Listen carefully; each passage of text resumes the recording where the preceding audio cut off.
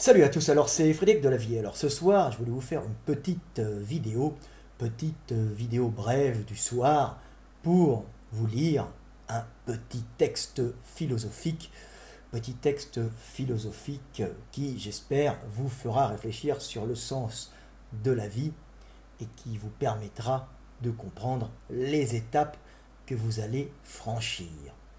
Ce petit texte s'appelle Les âges de l'homme. L'enfant est le réveil de la conscience du monde en l'homme, la croissance du corps et de l'esprit du monde, née du désir, de la passion et parfois de l'amour de deux êtres. Si l'enfant poursuit sa croissance et qu'il a la chance de devenir un jeune adulte, vient en lui la volonté de puissance, cette volonté nietzschéenne de conquête qui pousse le jeune homme, si la vie lui en a donné les moyens, à bouffer d'une façon frénétique le monde pour le conquérir afin d'en faire son royaume.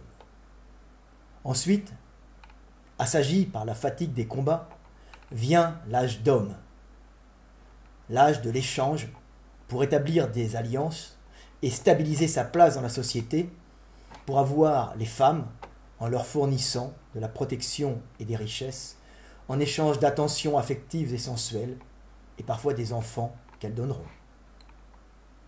Enfin vient l'âge du don, quand l'homme prend pleinement conscience de sa finitude et du néant qui l'attend inéluctablement dans la mort.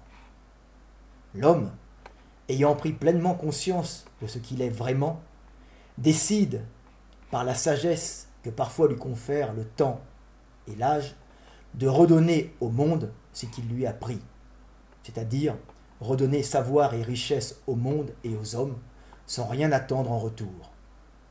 L'homme ayant compris, s'il a bien observé la vie et le monde, que l'important par-dessus tout, c'est que la vie continue.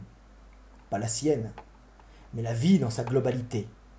Car la vie génère la conscience en l'homme, conscience du monde qui en chacun peut vivre et aimer l'autre, c'est-à-dire soi-même, le temps d'une vie humaine.